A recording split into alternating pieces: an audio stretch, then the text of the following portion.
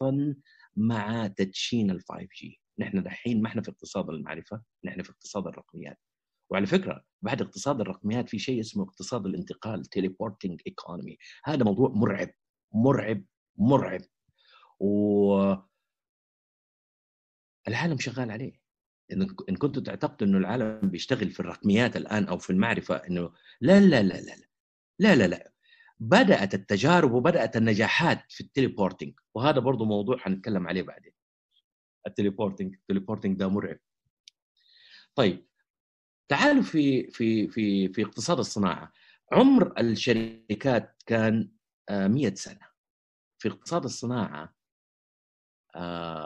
من 1980 ما حنقول العمر ولكن حنقول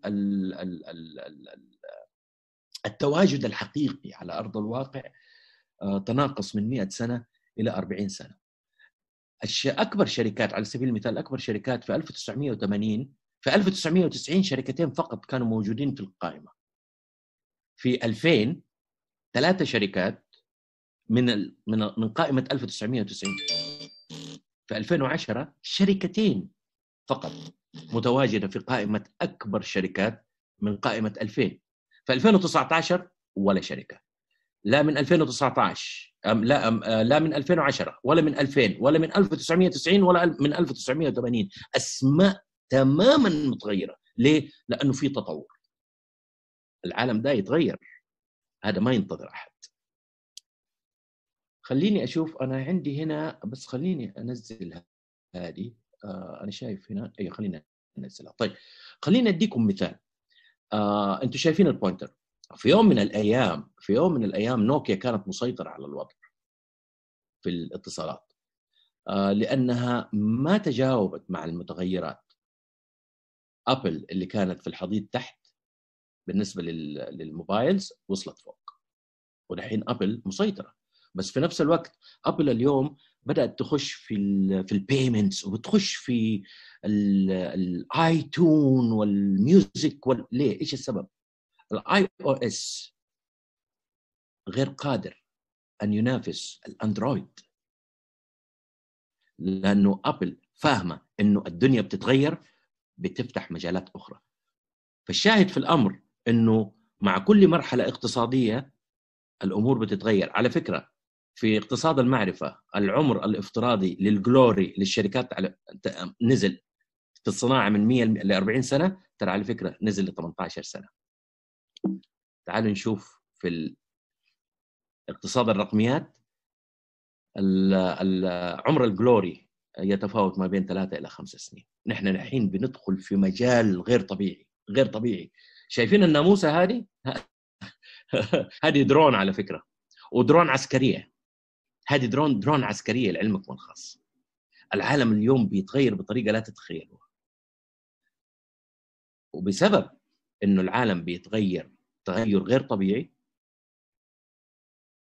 المملكة العربية السعودية ولو تتذكروا كلام سمو الأمير محمد بن سلمان لما قال لكم نحن ما نقدر نعتمد على البترول طول عمرنا ولا بد ولا بد إنه نغير من أسلوبنا في في اقتصادنا وفي حياتنا كلامه صح. نحن لا يمكن أن نعتمد على بترول أسعاره طالعة نازلة. ما نقدر ما نقدر نخطط. والعالم بيتغير. في يوم من الأيام يمكن يمكن يمكن الطلب على على النفط يهبط بطريقة لا تتخيلها خاصة مع وجود السيارات الكهربائية مثلا على سبيل المثال. طبعا هو حيكون لي استخدامات ما فيها كلام بس إنه برضه ما نقدر نعتمد على الحظ. لذلك إضافة إلى أنه في المملكة عندنا تحديات خطيرة. الحمد لله رب العالمين نحن من أجمل المجتمعات على مستوى العالم. نحن 70% من مجتمعنا تحت سن 30 يسموه يسموه مجتمع فتي. مجتمع فتي. فغير إننا محتاجين لتنويع مداخل اقتصادنا برضو نحن محتاجين لتوفير فرص عمل. لأنه نحن مجتمع فتي. مع التحديات هذه كان لابد للمملكة أن تخطط للتغيير. الميزة الحلوة في حكومتنا الحق قال إنه عندها دائما بعد نظر ودائما تستشرف المستقبل وتشوف وتأخذ الأمور على محمل الجدية. فأمر خادم الحرمين الشريفين بتدشين موضوع رؤية المملكة 2030 لأنه نحن جزء من هذا العالم ولابد أن نتغير. اللي ما يتغير نهايته نهاية الديناصورات. خلوا في بالكم. آه، أيام ما دشن آه، رؤية 2030 رؤية 2030 آه، من وضع على رأسها سمو الأمير محمد بن سلمان. سمو الأمير محمد بن سلمان ديك الأيام ما كان ولي العهد كان نائب الثاني. سمو الأمير في سن السبعين في المية من المجتمع. نفس الآمال نفس الأحلام نفس التوجه نفس الحماس. وهذا موضوع مهم جدا لازم تنتبهوا له. لما تحطت الرؤية أنا كنت راح أتكلم على ال على ال على الرؤية. الرؤية فيها 96 استراتيجية تحت 13 برنامج. للأسف الشديد للأسف الشديد نحن غالبيتنا لم يقرأ الرؤية بتمعن. بس أنا تعمدت إنه لا ما حنتكلم عن الرؤية. في أمور معينة مهم جدا إنه نعرفها عشان لما نيجي ندخل على الرؤية نعرف كيف نقرأها. وضعت الرؤية الرؤية الرؤية لها ثلاثة محاور مجتمع حيوي اقتصاد مزدهر وطن طموح. يعني بنتكلم عن المستوى السياسي والاجتماعي والاقتصادي. وشرحت الرؤية بالضبط في الثلاث المحاور هذه نحن إيش نبغى نسوي. و... و... وشرحت وشرحت كيف نستطيع أن نحقق رؤيتنا. نحن بنتكلم على 13 برنامج برامج استراتيجية بتغطي 96 هدف استراتيجي. لعلمكم الخاص 96 هدف على مستوى الدولة على مستوى المملكة على مستوى الوطن على مستوى المجتمع. في كل هدف هناك فرص ريادية لا تعد ولا تحصى. لا تعد ولا تحصى. لذلك نحن دحين بنعمل funneling top down من فوق لتحت. أنا عندي رؤية. ب 13 برنامج بتغطي 96 هدف استراتيجي. فأنت ممكن تمسك هدف معين أو عندك فكرة تحاول تدخلها في المنخل. فاكرين اللولو صيادين اللولو؟ كيف ينخلوا اللولو؟ وينزلوها في طبقات عشان يصنفوها الصغير والكبير وال... نفس الحكاية. تمسك مشروعك وتحطه في المنخل ده عشان تعرف انت تبع اي هدف استراتيجي. لو لقيت نفسك انك ما انت تبع اي هدف استراتيجي ترى انت ضايع. لأنه كل هدف استراتيجي مدعوم من الدولة ففي فرصة إنك تكون مدعوم. طيب. النقطة الثانية لماذا ريادة الأعمال والمنشآت الصغيرة والمتوسطة؟ شفتوا قبل فترة كيف أعمار الشركات آه، بتتناقص؟ ترى المستقبل المستقبل للمنشآت الصغيرة والمتوسطة وليس للشركات الكبرى، الشركات الكبرى حتكون يمكن واحدة اثنين مثلا في كل منطقة أو في كل في, في كل زون لكن المستقبل كله للمنشآت الصغيرة والمتوسطة، اليوم كوريا تعرفوا إيش مشكلتها؟ مشكلتها إنها بت... ب... إنها كيف تعمل من المنشآت الصغيرة والمتوسطة منشآت قوية أقوى. مش إنها تنشئ لا خلاص انتهت. العالم كله دحين شغال منشآت صغيرة ومتوسطة. وعلى فكرة كلمة ريادة أعمال ترى ما هي قديمة علينا. في للأسف الشديد ناس يعتقدوا إنه الكلمة هذه قديمة ما, هي لنا. يقول لك يا جماعة الخير ريادة الأعمال طبعا نحن حنستخدم مفهوم ريادة الأعمال زي اللي الناس دحين عرفته آه، بينما أنا لي تعريف مختلف تماما بس حنستخدمه. ريادة الأعمال في كثير وللأسف الشديد للأسف الشديد بعض الحين تسمعها من بعض المسؤولين حتى إنه بلا ريادة اعمال نحن ما نحن ما إحنا حقون رياده لا لا لا لا ريادة الأعمال ترى مننا. نحن أهلها. ما راح تصدقوا. أول مرة ذكرت كلمة ريادة الأعمال انتربرنور شيب على أرض الواقع كان في 1946 طبعا هو المصطلح خرج في 1923 بس نبذ ما قالوا بلا كلام فارغ مش عارف إيه. في 1946 بعد نهاية الحرب العالمية الثانية كان لابد من إعادة إعمار أجزاء كبيرة من أوروبا. فكان في مشروع مارشال. فقال لك إني أعمل mobilization أعمل تحريك لشركات مقاولات كبرى ومن أمريكا وأجيب معدات حتكون عملية مرة صعبة. فأنا لابد أن أعتمد على وقال الكلمة على local entrepreneurs رواد محليين. هذا هذا الكلام كان في عام 1946 تعرفوا ثاني مرة استخدمت الكلمة فين؟ في المملكة العربية السعودية في الظهران. اللي يعرفوا الظهران اللي يعرفوا الظهران لما يجوا يخشوا بوابة أرامكو السعودية الرئيسية الرئيسية أول ما يعدوا البوابة يطالع على يده اليسار حيلاقي كده في مبنى أثري. هناك استخدمت كلمة انتربرونور للمرة الثانية على مستوى العالم على مستوى العالم بدليل إنه طبعا أمريكا بدأت ال entrepreneurship آه، المتعلق بال, بال, بال بالتقنيات في 1948 لأنها كانت بتحضر نفسها لدخول الحرب العالمية الثالثة آه، الحرب آه، لدخول الحرب الباردة. وعلى فكرة في 1948 ال venture capital تأسس في أمريكا اللي يسموه ال venture capital وتأسس في البنتاغون.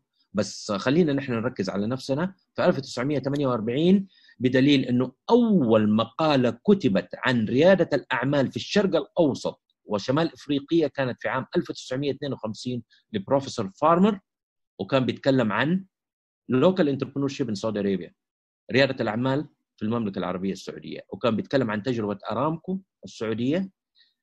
مش ماذا ستفعل لا فعلت. مقالته كانت 1952 يعني بعد ما فعلت. أرامكو في 1948 وأرامكو السعودية ما تكلمت في 1948 لا هي هي أنجزت في 1948 الكلام والأخذ والعطاء لأنه صار في مضاربات آه، في إدارتها أنه نعم لا غير ملتزمين لا ملتزمين هذا كان الكلام في 1946 وتاريخيا العرب بطبيعتهم يا جماعة الخير العرب بطبيعتهم رياديين. لما لما نجي نتكلم على على الحروب يقول لك المقاتل الشرس على طول يجي في بالنا الفايكنج الصناعة الصينيين آه، الطب والفلسفة أو الطب والصيدلة الهنود. لما لما تيجي تسأل العالم العالم عن العرب مين هم؟ ترى على فكرة معروفين إنهم مغامرون ورواد فاكرين فيلم ذا 13th وورير ترى هذا فيلم طبعا طبعا القصة فانتازيا بس كانت قائمة أساسا على آه، قصة ابن فضلان اللي اكتشف البلاد الإسكندنافية عام 900 ميلادي. فالقصة يعني الفارس ده كان بن فضلان بس هم حطوها طبعا بطريقه بطريقة سينمائية بس مغامرين. لما نيجي نتكلم على سندباد أعتقد تعرفوا البرنامج ده. برنامج مرة حلو وانتشر واشتهر عالميا وأعتقد اتحط ب 12 أو 13 لغة. سندباد. العالم عرف العرب عن طريق سندباد وبالمناسبة سندباد ما هو شخصية خرافية. سندباد شخصية حقيقية كان في بغداد. بس طبعا هذا اللي اسمه علاء الدين ده. أعتقد هذا علاء الدين؟ هذه أنا أعرفها ياسمينه بس هذا علاء الدين. المهم علاء الدين ما كان ما كان أبيضاني حليوة. كان أسمر.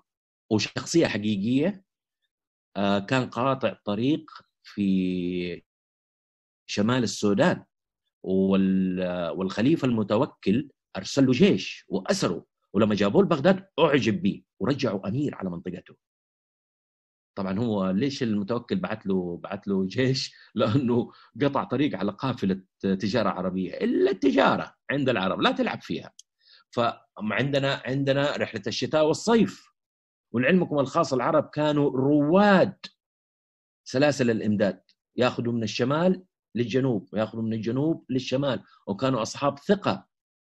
طبعا أنتم شايفين شايفين البوكيتس هذه السوداء الموجودة في الجزيرة العربية هذه كلها كانت عبارة عن أسواق لكن السوق الأكبر كان ينطلق من مكة المكرمة. تقدروا تقولوا مكة المكرمة كانت عند العرب زي ال Wall Street في في نيويورك. ومارسوا العرب مارسوا يعني في في في في التمويل مارسوا كل أنواع التمويل المضاربة الحصص بالأسهم رأس المال الجريء اشتغلوا venture capital العرب فالشاهد في الأمر هنا إنه ريادة الأعمال والمنشآت الصغيرة والمتوسطة ما هي بعيدة عن آه، عن عن عن ثقافتنا وعن عن عن حياتنا بشكل عام سواء في الماضي أو في الحاضر وحتى في المستقبل. إيش اللي حصل دحين؟ المملكة العربية السعودية بتحاول إنها تعيد بناء الرياده الابتكاريه في المجتمع. لأنه زمان الناس كانت تشتغل اللي صاحب دكان اللي صاحب مزرعة اللي اللي اللي, اللي بس بحكم اكتشاف النفط والغاز الدولة بدأت تأسس نفسها كدولة متقدمة فصارت محتاجة الموظفين فالمزارع ترك المزرعة التاجر صاحب الدكان ترك الدكان وهلم جرى ومع التعليم والاحتياج العالي للموظفين سواء في القطاع المدني أو في القطاع العسكري في القطاع العام أو في القطاع الخاص. فروح الريادة وروح العمل الحر آه، بدأ يقل مع الزمن. اللي حصل دحين إنه الخطط القادمة إنه نبغى نرفع من وتيرة أبنائنا وبناتنا إنهم يدخلوا العمل الحر اللي هو في الأصل جزء جزء لا يتجزأ من حياتنا. لأنه الوظائف زي ما أنتم شايفين مع التطور ما حتكون متوفرة بالشكل اللي نعتقد إنه أو نتمنى إنه يكون.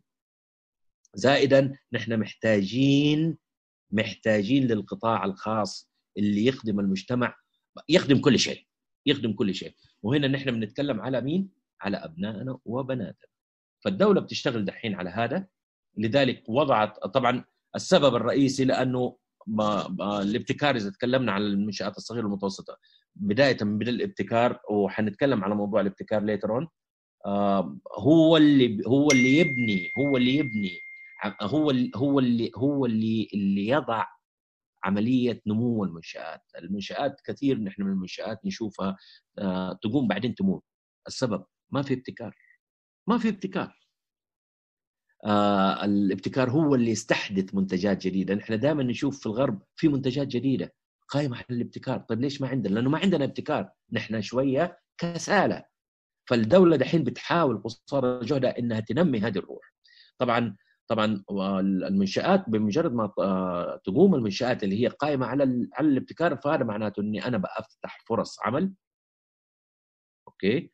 وبقوي نفسي زي الكوريين اللي بيسووه عن طريق التصدير. طبعا هذا موضوع طويل وعريض آه، ما ما حنتكلم فيه كثير. طيب الدولة الآن إيش بتسوي؟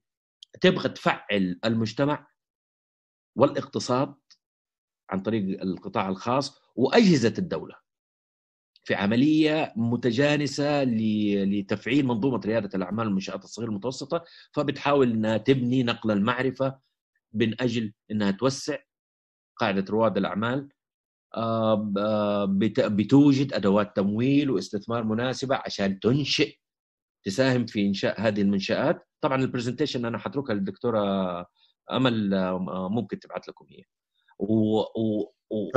دكتور موجود موجود ال presentation في الشات أيوه. آه أيوة. يقدروا ينزلوها. ممتاز ممتاز. وطبعا وطبعا الدولة بتحاول دحين إنها توجد بيئة بيئة أعمال جاذبة آه، آه، في المملكة العربية السعودية. والحمد لله رب العالمين قطعنا أشواط مرة كبيرة. بس الدولة دورها ما يكفي. الدولة دورها ما يكفي. نحن محتاجين لحراك مننا نحن خاصة من أبنائنا وبناتنا. طيب خلصنا الحين موضوع إيش اللي حاصل في العالم وليش ريادة الأعمال مهمة. طيب الحين نيجي للنقطة الأهم. أنت. أنت أو أنت. للأسف الشديد الروح السلبية بنشوفها مرة كثير حتى على على مستوى شبكات التواصل لما ينتقدوا لما كثير من الأحيان يعني البني آدم يقول معلش ما بكرة بكرة بكرة بكرة بكرة بكرة يتعلم. ودائما نسمع حظي وأعرفه مقروض طول عمري ما هذا كلام فارغ. هذا كلام فارغ. الله سبحانه وتعالى قال وقل اعملوا. الله سبحانه وتعالى قال وفي السماء رزقكم وما توعدون. يعني الشواهد كثير الشواهد كثير. ولما نيجي ننزل على مستوانا تحت الدولة بتشتغل بس ما تقدر تشت... يد واحدة ما تصفق يا جماعة الخير يد واحدة ما تصفق لازم نتحرك. الرؤية مليئة. طيب ليش أنت؟ لأنك أنت مستقبل المملكة. أنت مستقبل المملكة. المملكة اليوم بتتجهز عشان تكون لك أنت أنت الشاب أنت المستقبل. اللي اللي في سني اللي أكبر مني مستقبلهم وراءهم. المستقبل لكم أنتم أبناءنا. المستقبل أمامكم. فأنت المستقبل. والتركيز عليك أنت. تفتكروا برنامج آه، ابتعاث آه، خادم الحرمين الشريفين؟ ترى ما يقارب المليون شاب وشابة استفادوا منه. ليش تجهيز لكم أنتم ليه؟ لأنكم أنتم مستقبل المملكة. المملكة ستقوم عليكم. لذلك أنت السر الأكبر في نجاح الرؤية. نبغى الرؤية تنجح؟ أنت السر الأكبر. والرؤية هي السر الأكبر في نجاحك أنت. بمعنى بيدي لا بيد عمرو. بس نحن محتاجين لأربعة كل واحد مننا كشاب أنا طبعا شاب أنا عمري 27 وأبو رمزي عمره 29 آه آه كل واحد مننا محتاج أنا دكتور كم عمري؟ لا أنت لسه 14 فكل شاب وشابة محتاجين لأربعة محاور في حياته. مهمة جدا. عشان كمان لما تيجي تقرأ الرؤيه تقرأها بشغف بحيث إنك تكتشف شيء لك. الحلم الفكر المشاركة والمثابرة. تعالوا نشوف حلمك. طبعا اللي في جيلنا مساكين كانوا الحلم كان لهم محرم. كلنا كلنا. الحلم الحلم كان محرم لنا. يا ما سمعنا أنت واهم. مو شغلك الناس مبسوطة بحالها. حتغير العالم. أقرأ لك كلمتين ينفعوك يا عمي. أنت حالم ركز على مستقبلك. شوفوا لاحظوا فوق أنا إيش كتبت. كتبت مأساة الحالمين وليس الحالمون. وحنعرف الفرق بين حالمين وحالمون. أنتوا يا حظكم. والله يا حظكم. جاء جاكم واحد قفل على على الناس القدام. الله يسامحهم. الله يسامحهم. قال فقط نرحب بالحالمين الذين يريدون صنع عالم جديد. يعني أنتم محظوظين ما شاء الله تبارك الله عليكم. الدولة بكبرها بتقول لك أحلم. نحن زمان الله أكبر اللي يحلم يا ويله. ويا ويله يا سواد ليله لو يت... لو أحد من الكبار سمع إنه بيحلم بشيء معين. يا ياكل كف يا ياكل كلمتين في العظم. اليوم لا. لأنه بالفعل يعني حتى لما نرجع للقرآن الكريم في سورة سيدنا يوسف آه، الآية الكريمة إنه إنه آه، إني رأيت أحد عشر كوكبا إنه فاكرينها القصة كلها بدأت بحلم. يعني شيء شيء الحلم شيء جميل الحلم شيء جميل. بالمناسبة ستيف جوبز كان حالم وتبهدل ووصل. عارفين هذا اللي حاطين آه، في رقبته آه، هذا بالجيت كان داخل السجن. ما أدري إيش كان عامل. وهنا في نقطة مهمة جدا. الشخص اللي يغلط في المجتمع لا يعني نهاية الكون له. لا لا يعني نهاية العالم. لابد أن يؤهل ويرجع مرة ثانية للمجتمع. كلنا خطائين. ما إحنا ملائكة. لكن في بني آدم أخطأ وربنا غطى عليه. وفي بني آدم أتكشف مسكين. فهذا الشخص يرجع للمجتمع. لابد أن نتعامل معه إنه إنسان عادي وطبيعي وهذه نقطة جدا مهمة. طيب آه عندنا اينشتاين كان حالم على فكرة. ترى ترى هو ما كان مخطط للنظرية النسبية ترى طلعت معاه كده بالصدفة ترى. أديسون أديسون 1201 تجربة إلين ما وصل لللمبه والسبب الحلم. عندنا حالمون سعوديين. عارفين فيلم بلال؟ فيلم بلال أنا طبعا طبعا هنا أنا أشكر الأستاذ أيمن لأنه سمح لي إني أستخدم معلومات عنه. وأنا كنت يعني أنا سعيد وتشرفت بإني أكون من الأوائل اللي تعرفوا على على على حلم أيمن جمال. لا تتخيلوا أيمن جمال قد إيش تعب. لا تتخيلوا قد إيش يعني واجه صعوبات بس كان إنسان رائع كان متمسك بحلمه. ما شاء الله تبارك الله أيمن اليوم يعتبر من أهم آه، المنتجين في ال entertainment آه، عمل فيلم بلال. اليوم شغال على فيلمين آه، الفيلم انتشر انتشار غير طبيعي. ما شاء الله تبارك الله دحين زي ما قلت لكم بيشتغل على فيلمين. شركات أجنبية كبرى طبعا أنا مو من حقي إني أتكلم في الموضوع ده تحدثوا معاه. بيتكلموا في مواضيع كبرى. وعلى فكرة كلها عبارة عن حلم. كانت عبارة عن حلم. طيب اليوم عنده شركة اللي وشركه حلوة دمها خفيف. كلمة برجون هذه عند أهل نجد والمنطقة الشرقية يقولوا لها التيل التيلة. نحن عندنا في الحجاز يسموها برجون. ما أدري من فين طلعوا الأسامي دي. فعنده شركة شركة إنتاج اسمها باراجون كبيرة جدا جدا. باستوديوهات شيء شيء شيء غير طبيعي. ما شاء الله تبارك الله. وصل. فاكرين فاكرين الطواف المؤقت؟ فاكرينه شايفينه هنا في الصورة. تعرفوا إنه هذا اللي عمله السيد الحبشي خريج جامعة الملك عبد العزيز تخصصه نانو تكنولوجي. نفس الحكاية كان حالم آه، قدم مشاريعه لأكثر من جهة وكثير من الجهات كانوا يقولوا عليه مجنون. هذا ما هذا هذا كيف بيفكر؟ مشروعه اتطبق وما شاء الله تبارك الله عليه. بس الكلام هنا إنه كان متمسك بحلمه. ترى اللي ينجحوا المتمسكين اللي هم الحالمون وليسوا الحالمين. الحالمين مفعول الحالمون فاعل. اللي ينجح الحالمون الفاعل المتمسك. والله يتلطش. من هنا لبكرة متمسك بحلمه.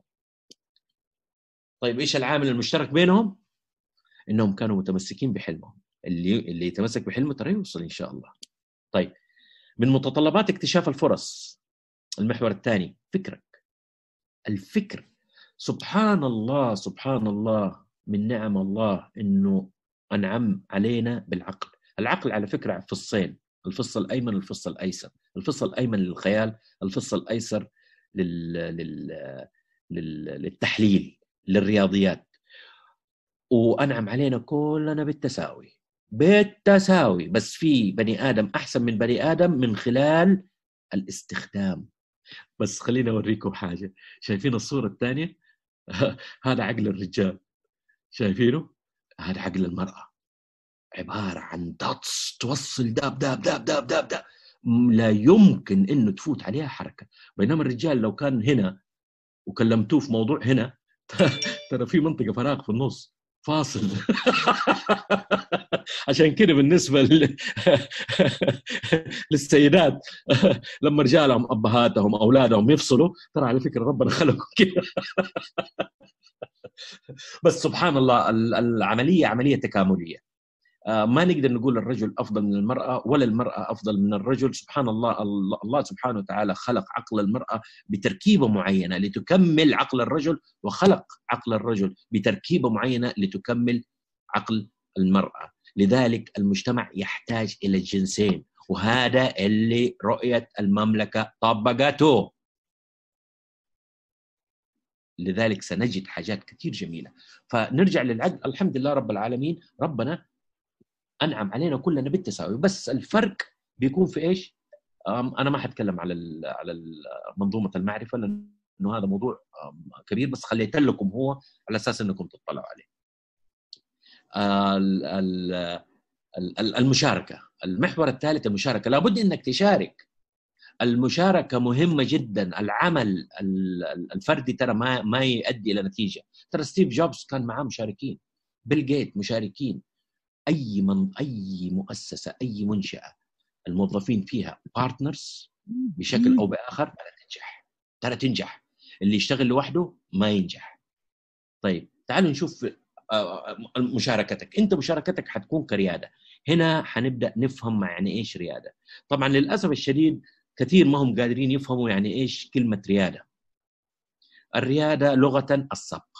السبق في الوصول إلى أمر ما وليست بالضرورة مرتبطة بالأعمال التجارية. أنت ممكن تكون مهندس ريادي. إنك تصل إلى طريقة جديدة مبتكرة. ما حد وصل لها في إنجاز عمل ما. ممكن تكون أستاذ جامعي. أبحاثك ممكن تكون ريادية. ممكن تكون تاجر رجل أعمال اللي هو ريادي أعمال. ممكن تكون مربي ريادي. ممكن تكون طبيب ريادي. اكتشفت عملت آه، جهاز عملت بتأدي عملك بطريقة مختلفة.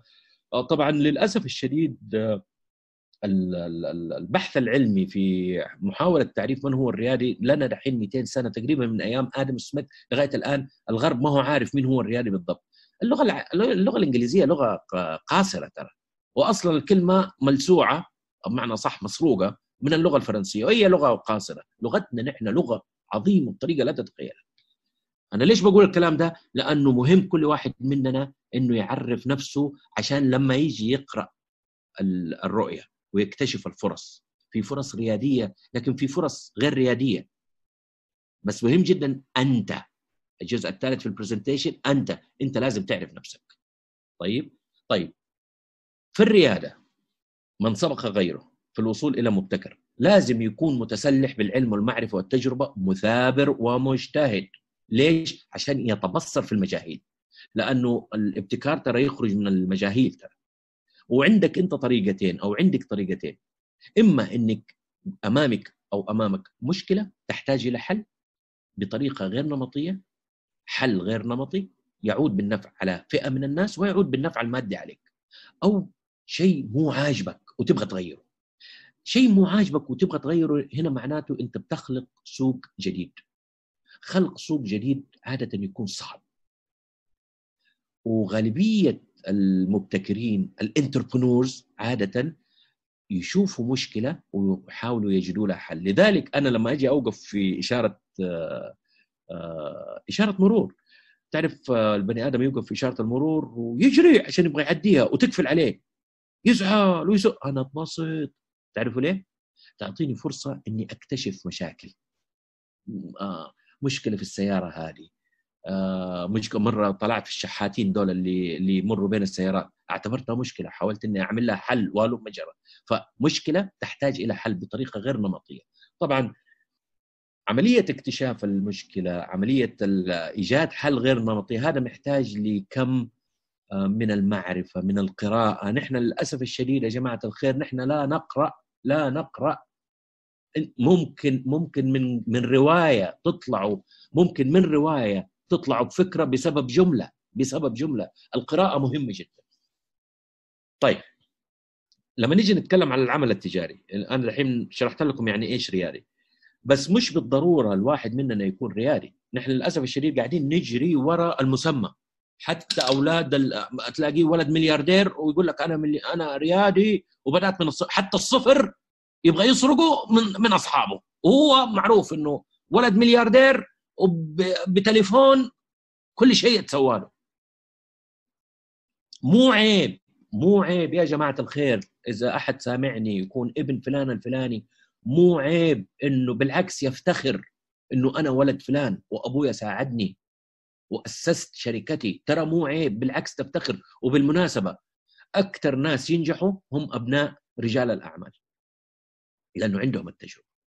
فأنت ممكن تكون رجل أعمال ممكن تكون عصامي إنسان على قد حالك. وعلى فكرة أغلب رجال الأعمال الأسماء الكبيرة عندنا ترى عصاميين كلهم.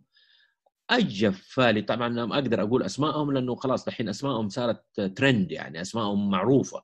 الجفالي الجريسي الجميح عدوا أغلطوا عدوا أغلطوا. كلهم كانوا عصاميين. طيب وفي عندك رياد الأعمال اللي هو المبتكر اللي دوبنا شرحناه وفي المبادر مين المبادر؟ المبادر هذا ممكن يكون واحد زيي أنا. طيب عنده خبرة عنده تجربة ووجد إنه العمل اللي هو بيقوم به اللي هو عمل تقليدي أوكي ممكن يقدمه بطريقة إبداعية أفضل.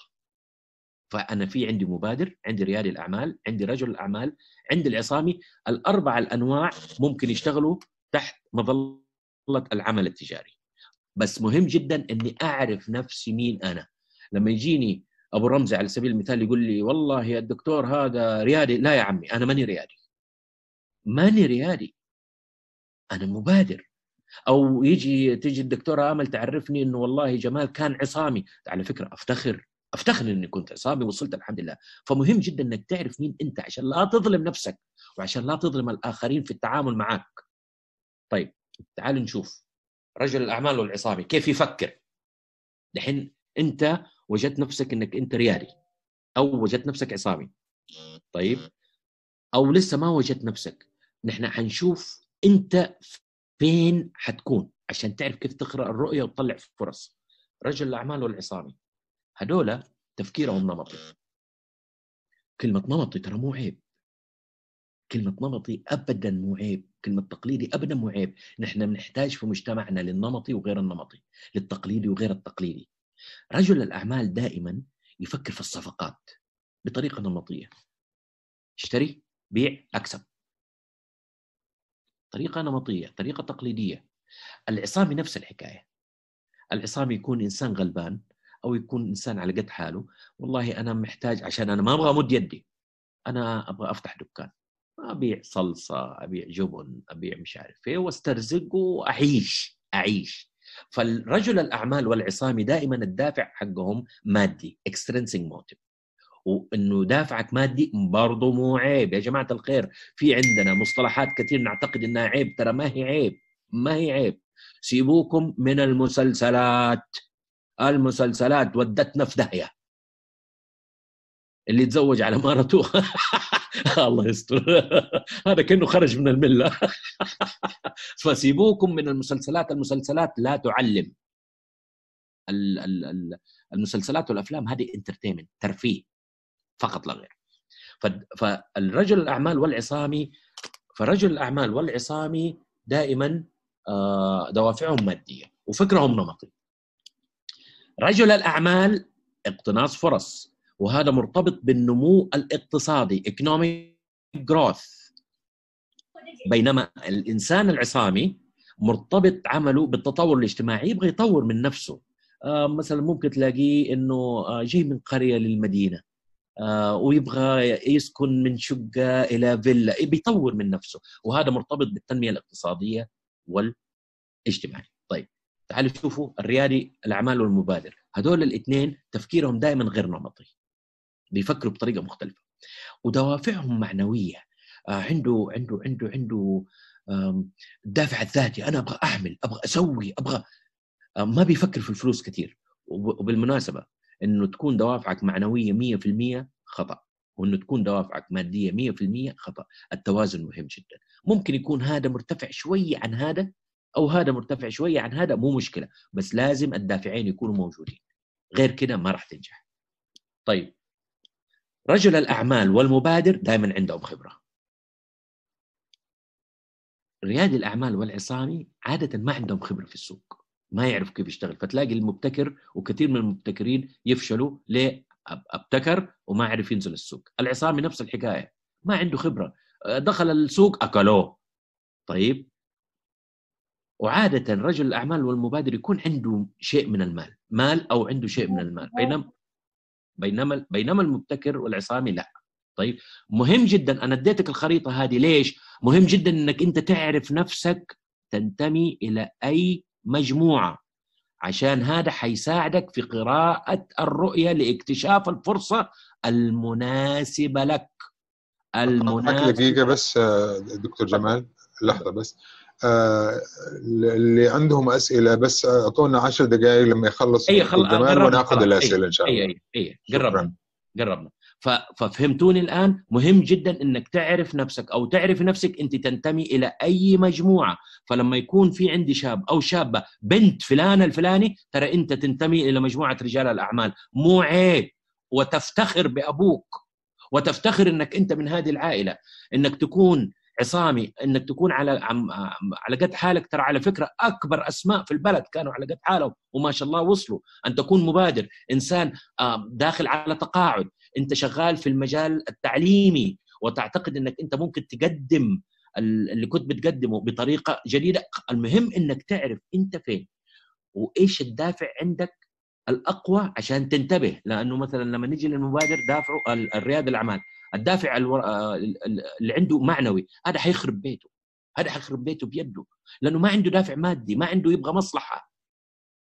ما في ما في شيء يستمر ويستديم إذا ما كان فيها فلوس فيقوم ينتبه يعرف آه أنا ريادي أنا مبتكر أنا عندي مشكلة مع الدوافع المادية يمكن أنا محتاج لواحد يكملني في النقطة هذه. وهلم جرى فمهم إنك تعرف أنت تنتمي إلى أي جهة عشان تعرف تكتشف الفرصة اللي تناسبك. طيب. الرابعة المثابرة. نحن للأسف الشديد نفسنا ضيق وقصير. دائما نتكلم أوه هذا نجح ليه؟ والله هذا ذكي هذا أذكى مني. ترى هذا كلام غير صحيح. هو ممكن يكون أذكى منك لكن أنت بالجهد والمثابرة تخطأ جرب مرة ثانية تغلط جرب مرة ثالثة تطيح قوم حتنجح. فالجهد والمثابرة ترى أهم من موضوع الذكاء. وهذا على فكرة مو كلامي هذا كلام أينشتاين.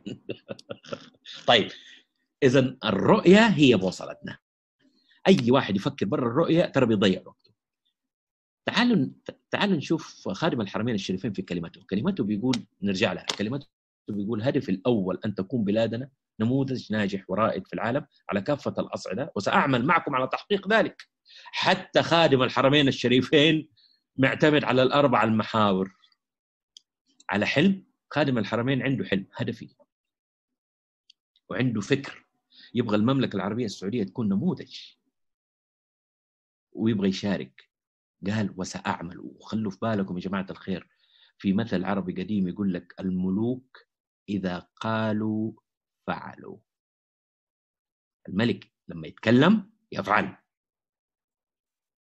مشاركتك. سأعمل. ومثابرة. على تحقيق. سأعمل معكم على تحقيق ذلك. لذلك الرؤية هي بوصلتنا. على مستوى الدولة الحكومة القطاع الخاص القطاع العام على المستوى الشخصي هي بوصلتنا.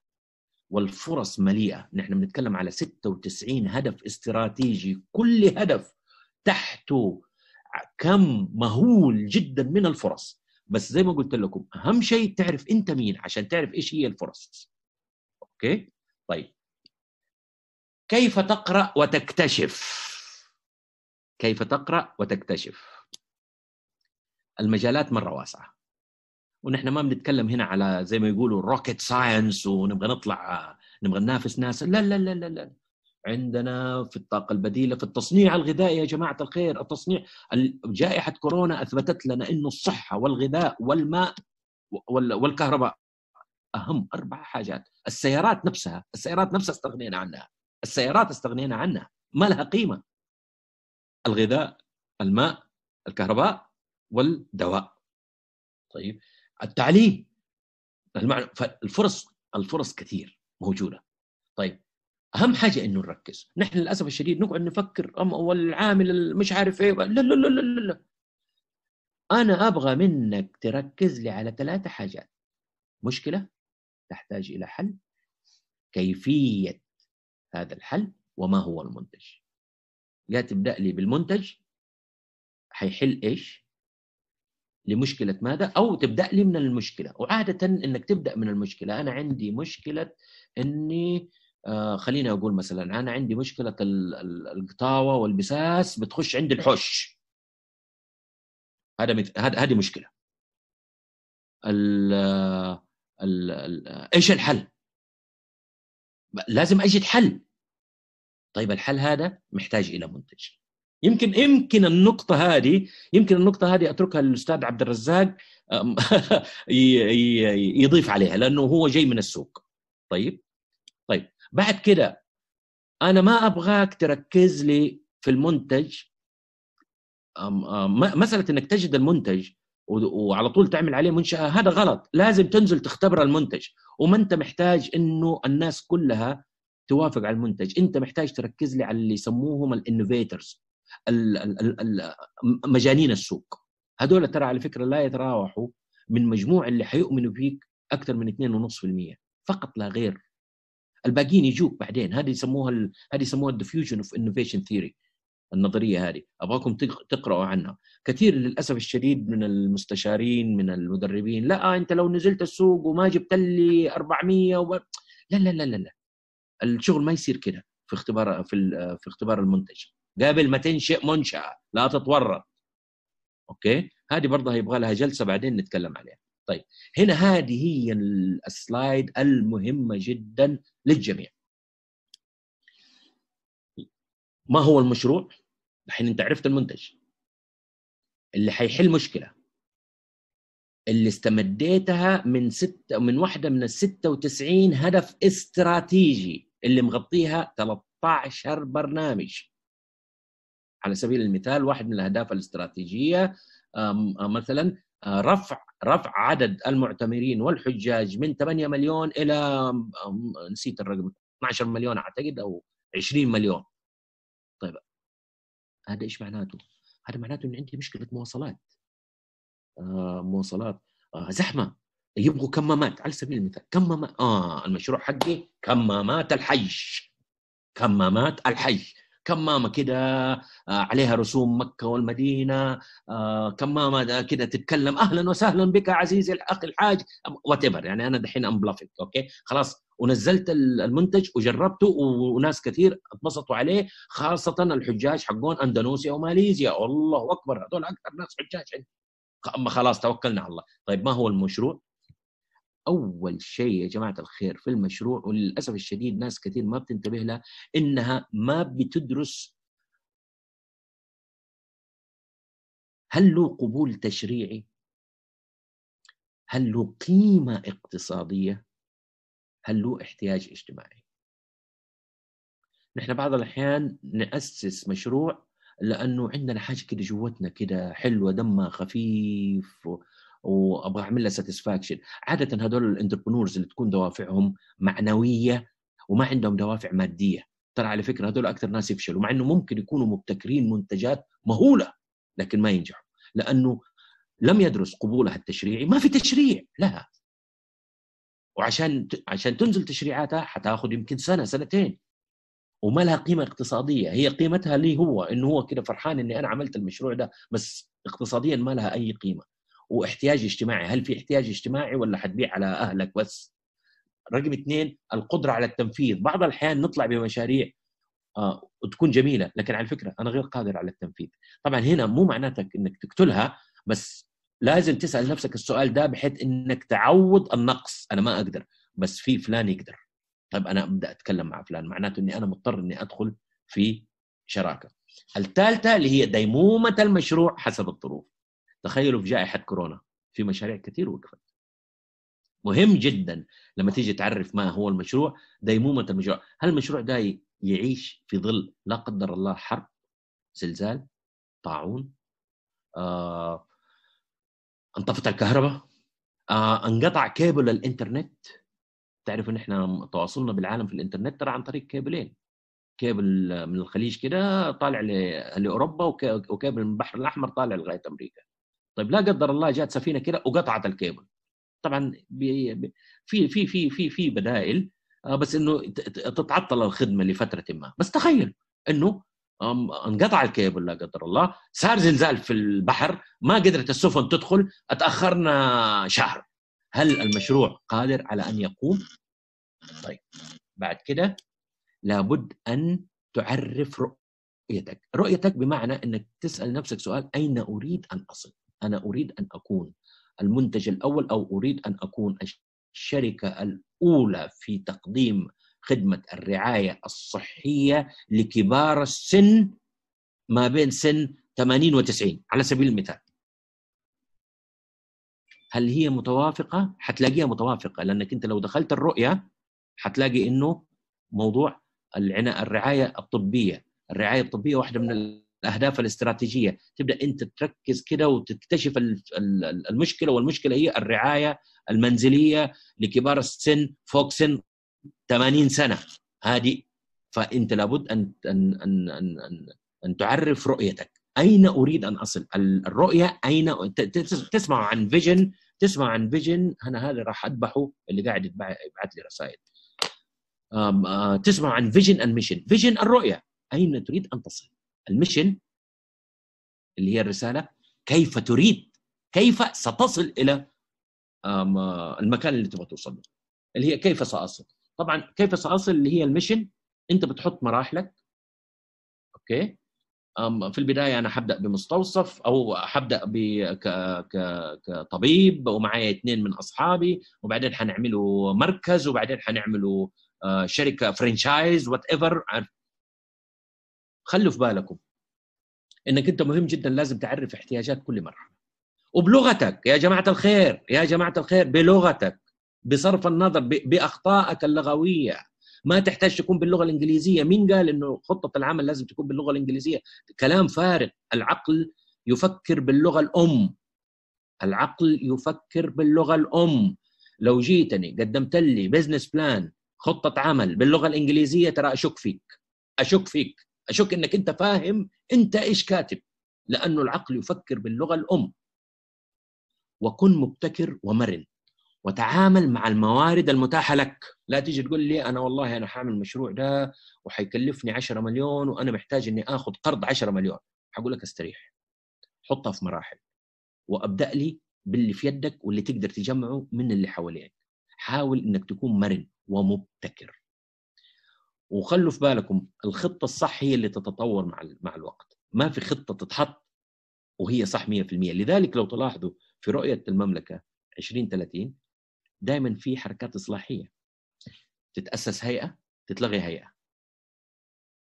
تتأسس وزارة تنقسم زي عندك وزارة الطاقة والصناعة. انقسمت صارت وزارتين.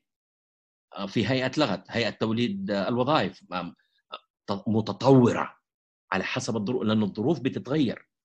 الرؤية واحدة الرؤية واحدة لكن الظروف تتغير. فلازم يكون في مرونة في التعامل مع الموارد المتاحة وفي نفس الوقت الخطة الصحيحة الاستراتيجية الصحيحة هي اللي تطور نفسها مع الوقت. وخلوا في بالكم لا حد يضحك عليكم ترى في دراسات قالت إنه أكثر من 92% من خطط العمل المعدة مسبقا لا تعمل. يعني ينزل جنين من بطن أمه ميت فلا حد يضحك عليكم. هذه عبارة عن دورة في الجدوى وخطة العمل في تقريبا 10 ثواني وببلاش مع يوتيوب وجوجل والدورات البلوشي اللي موجود على الإنترنت حتقدر تضع خطة عمل مهولة. بس قبلها لازم تعرف من أنت لازم تعرف من أنت وتنتمي إلى أي لأي مجموعة. عشان لما تيجي تدخل على الرؤية تحت ال 96 هدف تستطيع أن تقتنص الفكرة اللي تتحول إلى مشروع. فهمتوني؟ آه العالم بيتغير المملكة بتتغير رؤيتنا هي البوصلة وأنت المستقبل. زي ما شفنا في البرزنتيشن معلش طولت عليكم وأقول لكم شكرا جزيلا ويعطيكم العافية. آه أنا بس حابب إنه أنا حابب إنه آه أعطي لو تسمح لي الدكتورة أمل. أيوة راح آه نحول. لو تسمح لي الدكتورة أمل آه، معانا المهندس عبد الرزاق الحربي. آه، المهندس عبد الرزاق الحربي يعني أنا أعتبره قصة أسطورية. طبعا ما حد يعرف عنه لأنه للأسف الشديد نحن بنشوف في المنتديات وعلى المسارح بنشوف بنشوف الناس اللي ما هي مركزة. بيل جيتس وستيف جوبز والناس دول ما كانوا على ال stage خرجوا على ال stage لما صاروا لما صاروا مليارديرية. المهندس عبد الرزاق إذا كان معانا أيوه آه معك والمايك مفتوح عنده. أيوة. الله يخليك. كيفك عبد الرزاق؟ الحمد لله كيف الحال؟ وشكرا شكرا جزيلا شكرا جزيلا لأنك يعني شرفتني إنك إنك توافق إنك تكون معنا لو سمحت في خلال ثلاثة أربع دقائق من خلال تجربتك لأنه أنا أعرف تجربتك خطيرة جدا كيف ممكن تضيف على الكلام اللي قلناه في البرزنتيشن من واقع التجربة؟ من واقع التجربة. تفضل أستاذ. آه، أشكرك دكتور جمال والإخوة المنظمين. آه، أحب أعرف الأخوة بس أنا عبد الرزاق الحربي. وعندي أربع مشاريع استثمارية. آه، اثنين منهم silent partner يعني ما لي أي دور سواء أني أكون فقط شريك. واثنين منهم لا عندي ال upper hand أو عندي اليد العليا أني أتدخل في القرارات ورسم الاستراتيجيات. قبل لا أتكلم عن طبيعة المشروع آه، طبعا الدكتور جمال ما قصر يعني غطى كل شيء وما خلانا شيء نتكلم فيه. ف آه، أنا من واقع آه، الواقع في التجربة في الرؤية. الدكتور جمال قال في نهاية ال presentation أو قبل نهاية ال presentation شوي قال الحالمون. طبعا يتكلم عن جيلي وجيله. إحنا اسمنا Generation X يفترض إن أصغر واحد فينا الآن عمره 45 سنة. وبعدين قبلنا generation بعدنا جاء Generation Y Generation Y يفترض يعني إن أصغر واحد فيهم الآن 30 سنة وفي Generation Z اللي يفترض انه أصغر واحد فيهم الآن يمكن 21 سنة. Generation X اللي هو جيلي آه، جيل يحب التنظير. آه، جيل لم يعرف المعاناة لم يعرف الفقر آه، لم يعرف التشرد. آه، صحى وولد في خير ونعمة ولله الحمد والشكر. التعليم مجاني. التغذية اللي نسميها الفسحة إحنا. آه، تجيه مغلفة وإلى الفصل ويأكلها حتى ما يحتاج إنه يمسك دور ويروح يشتري آه، أكل زيه زي غيره. لا. الأخ تجي له لحد آه، مقعده في الفصل وكل يوم منيو جديد عشان ما يزهق. وفي نفس الوقت تجي حتى العيادة الصحية تفحصه في المدرسة. ف Generation X هذا generation عجيب في في تصوراته. وفي وفي تفكيره وما زلنا نعيش وتجدنا معظمنا آه، نؤسس أو أسسنا لشيء ان ما نتعب في شيء. كل شيء يجي لحد عندنا معظم Generation X على فكرة خشوا كليه الطب معدلهم 60 لا قدرات ولا تحصيلي ولا وجع راس.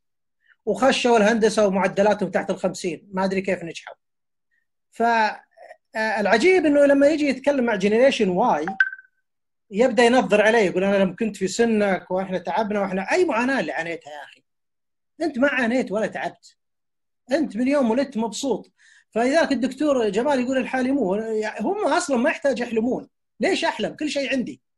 شغالات عندي سواقين عندي آه، فواتير كهرباء رخيصة تعليم مجاني. امشي في الموضوع ذا لو بنتكلم من هنا لبكرة. من اللي أكلها طبعا؟ أكلها generation Y. اللي هو جيلكم آه، اللي تعب حقيقة آه، في العملية ذي. فنرجع موضوع الرؤية اللي نتكلم عنه نتكلم عنه جمال. من ناحية واقعية الواقع الآن اللي أنا أشوف ان في صراع بين generation Y و generation X. جيل Y وجيل X. جيل X عنده فلوس خلونا نكون واقعيين. أقل واحد فيهم لو بيتقاعد من أي شركة بيأخذ حقوق بالملايين. فعندهم فلوس. generation Y عندهم أفكار وابتكارات بس ما عندهم فلوس. من الممول حق المشاريع ذي الحقيقي؟ generation X هو اللي عنده فلوس. generation X أحد مميزاته إنه إنسان شكاك. ما يثق في أحد. وال friends عنده ما هم family ال friends friend أصدقاء وال family family لازم تعرف الفرق. عائلتي عائلتي واصدقائي أصدقائي. بينما generation Y العملية مخلوطة عنده. ال friends هم أصدقاء هم عائلة. هم أصدقاء وهم عائلة في نفس الوقت. فإحنا الآن كيف نحصل على التمويل من generation X؟ أنا أعتقد إن generation Y اللي هم أنتم يجب أنكم تفهمون هذا الجيل جيدا وتقرؤونه وتعرفون تتعاملون معاه لأنه آه، إنسان يشتغل على المضمون ما يشتغل على الأحلام. يعني لما لذلك تلقاهم معظمهم تجار عقار هو عارف إن في اسيت إن في أصول وإن في أجار راح يجيها آخر الشهر وإذا فشل المشروع حيبيع العمارة أو حيبيع المحل. فهذه أحد التحديات اللي أنا أشوف أنكم لازم تتعاملون معاهم باحترافية بحيث أنكم تصلون إلى نقطة التقاء آه، في عملية التمويل. آه، طبعا آه، أحد المشاكل اللي يقعون فيها رواد الأعمال وأنا واجهت منهم كثير أنه يبغي يصير 3 ان 1 هو كل حاجة 1 مان شو العملية دي ما تصير. أنت حتى في العمل لما تكون موظف في عندك إنسان استراتيجيست إنسان عنده أفكار وينظر ويربط الأمور في بعض. بس إنسان غير منتج يجي الاجتماعات ويتكلم بس. أول ما يترك الاجتماع ما ينتج. هو طبيعته كذا إنسان منظر. في النوعية الثانية project manager إنسان يحب يدير المشروع. أول ما يخلص المشروع يسلمك إياه ويتوكل على الله يعطيك ظهره. يعني خلينا نقول صلح لك محل أو بنى لك محل وسلمك المحل. هذا إدارة مشاريع. بعدين يجي ال operation التشغيل اللي هو المعضلة. فنلقى الأطراف تتحمس في, في الاستراتيجي وتتحمس في ال project management لأنهم يعيشون فترة حلم جميلة و honeymoon period يعني فترة شهر عسل إنهم لقوا الفكرة وبدأوا يأسسون للمشروع. وبعدين لما جاء وقت ال operation تورطوا لأنه يعتقدون ال operation آه، هي نفس ال process ونفس السهولة اللي راح تكون في الاستراتيجي. وراح تكون في لذلك حتى في الشركات الكبرى دائما تجد صراع بين ال operation وال strategy. ال operation يعتقدون الاستراتيجي يضيعون وقتهم ويجيبوا لهم أفكار غريبة وهم اللي يديرون الشركة ويديرون المصانع to generate cash عشان يجيبون كاش والجماعة ذيل فاضيين يعطونا موديلات عشان نجرب كل شوي استراتيجيات ممكن تنجح وممكن تفشل. فأنا نصيحتي لكم يعني إنه آه، حاول تجد الإنسان اللي يكملك أنا أتكلم عن تجربتي. أنا إنسان فاشل في ال operation وفاشل في ال project management.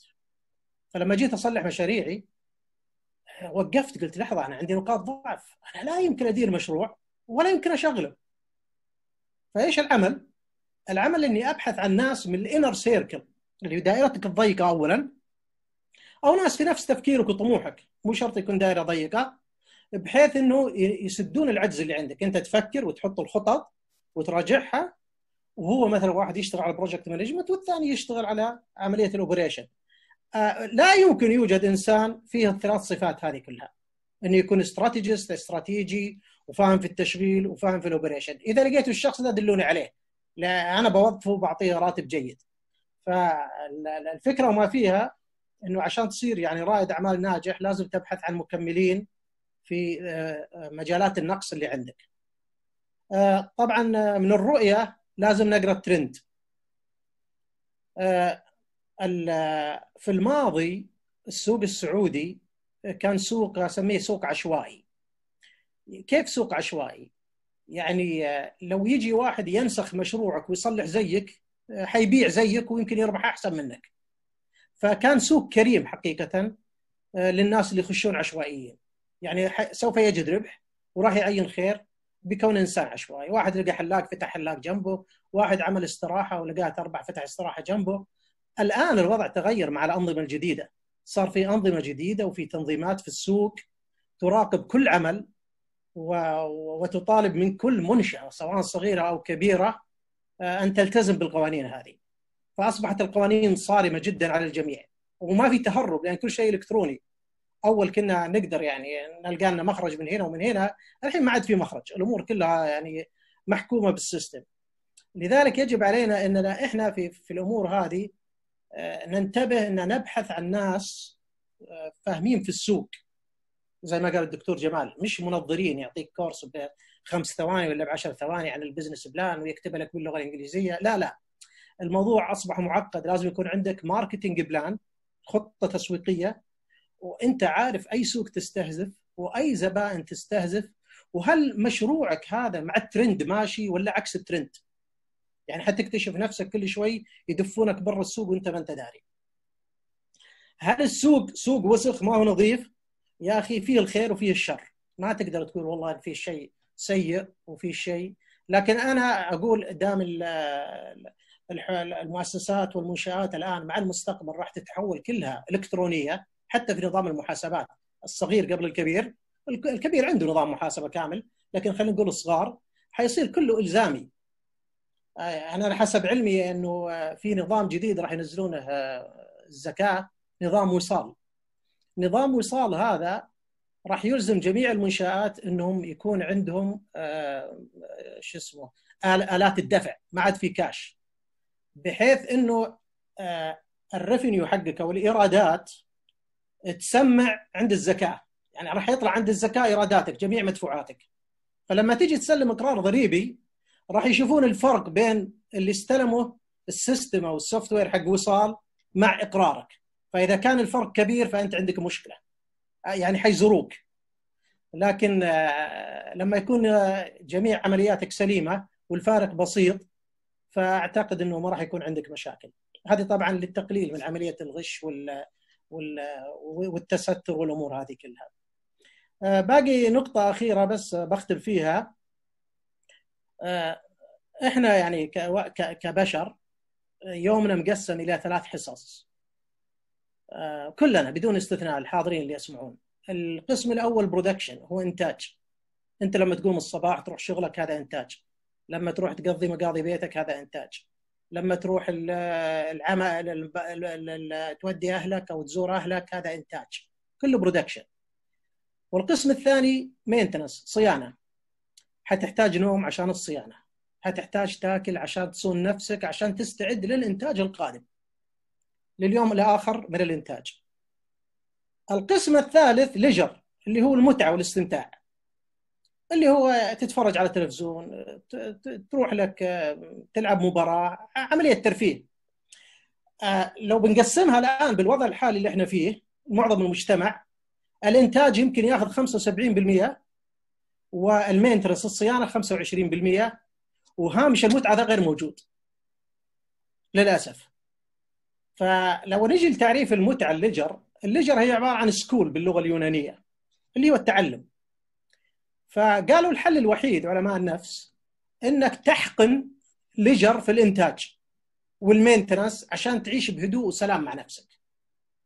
فأنت لما تكون رائد أعمال لازم تستمتع باللي تسويه. فإيش تعمل؟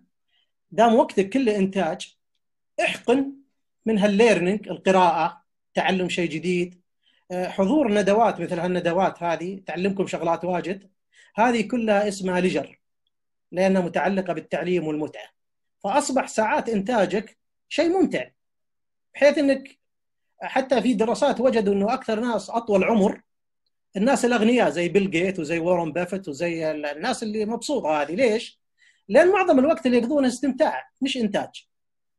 فالحل الوحيد أنت معاك دام انها هي يعني خربانة خربانة احقن إنتاج قد ما تقدر حتى في ال maintenance يعني حتى في الصيانة روح لك جيم يا أخي مع ان الجيم مقفل الأيام دي تقدر تعملها في البيت تشترك أونلاين آه، تقدر تتفرج على شيء مفيد آه، تقدر آه، تعمل activities تطبخ في البيت يعني يوم من الأيام كذا.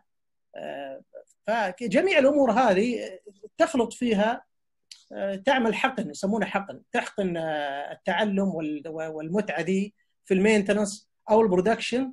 أو الإنتاج أو إنك راح تكتشف في النهاية إن وقتك أو عمرك كله قضي في إنتاج وصيانة. حتصل لمرحلة مثلنا طبعا إحنا كبرنا شوي أنا وجمال إن بتصير الصيانة أكثر من الإنتاج. فهنا خشينا في ورطة ثانية عارف كيف؟ فأنا أنصح الصغار ديل جميع الجيل جيل Y أنا أسميه Generation Y إنه آه، بالثلاث نقاط اللي اللي ذكرناها آه، بالنسبة لل business أنا أشوف ال business آه، ما بيطول عليكم حاجتين ثنتين إذا قدرت تسيطر عليهم انتهت مشكلتك. هو طرفي ذراع زي ما يقولوا أو extreme ends. هذه ال end الأولى وهذه ال end الثانية. اللي بينهم ما عليك منه. صدقني حيتظبط مع الوقت ومع التجارب. الأول ال sourcing اللي هو المصادر. منين تجيب موادك الخام؟ حت... مواد الطبخة منين حتجيبها؟ حتجيبها من الدانوب ولا من التميمي؟ وبأي سعر حتجيبها؟ عشان تصلح الطبخة. الأخير المبيعات. ما عندك مبيعات لا تضيع وقتك، ما عندك شركة ولا عندك business. أنت تلعب على نفسك. no sales no company. as simple as this. فلازم تركز لي على الاثنين هذه. توظف واحد جيد في تحديد المصادر بحيث إنه يوفر عليك في سعر التكلفة ويجيب لك مادة خام رخيصة والثاني اللي يبيع لك اللي بينهم سميه efficiency كفاءة تشغيل آه، توفير في الهدر سميه اللي تسميه. ما أقول غير مهم هو مهم جدا ويساعدك في إنك تحصل على contribution margin أعلى طبعا في في في, عملية شو اسمه لما تحسب بعدين الأرباح. لكن آه، متى ما سيطرت على الاثنين آه، تقدر تحكم تقلبات السوق. لأنك تعرف كيف توفر مصادرك وكيف تبيع منتجك. في غير هالحالتين أعتقد إنك راح تقع في مشاكل كثيرة. إذا عند الإخوان أي سؤال آه، أنا حاضر. شكرا جزيلا. شكرا يا عبد الرزاق. شكرا يا عبد الرزاق. الرؤية من من من واقع السوق جدا مهمة. آه، إذا أقدر أختصر اللي قاله عبد الرزاق إنه آه، ريادة الأعمال أو خلينا نقول ممارسة العمل التجاري ترى ما هي سهلة. ما هي سهلة. لكن النقطة اللي اللي اللي ألمح لها المهندس عبد الرزاق إنه أخلط المتعة داخل الإنتاج والصيانة. آه، أعتقد إن إحنا كده ختمنا. آه، شكرا أستاذ عبد الرزاق. آه، دكتورة أمل شكرا جزيلا ضيفنا العزيز الغالي الدكتور أتصور إن الأمسية كانت مرة ممتعة وموضوع أسلوبك القصصي هذا وطرح الأمثلة الحية أفاد لها روح. آه، مشكور عليها. شكرا جزيلا. آه، نشكر ضيفنا الغالي الأخ عبد الرزاق الحربي. صراحة أضاف إضافات رائعة وجميلة ونتمنى تجمعنا في لقاء خاص صراحة ما شاء الله عليه. نرجع بالشكر للدكتور جمال اللي قدمك. آه، ودائما هو متكرم علينا بجمايله. آه، فنسأل الحضور العزيز اللي شرفنا بحضوره. إذا كان عندكم آه، أي سؤال آه، لعله في صلب الموضوع ونشكر سعادتكم على حضوركم بس يا ليت السؤال يكون في صلب الموضوع ونخلي فرصة لغيرنا. فاللي عنده سؤال يبدأ يرفع يده. وإحنا راح نمشي على الأسئلة إن شاء الله ونوفيكم كلكم حقكم. أنا أتصور إن في الأخ محمد الدهان. هشام أول. هشام هشام قبل. هشام قبل. Oh, sorry, I missed هشام. Okay. So, uh, هشام, uh, تفضل بسؤالك.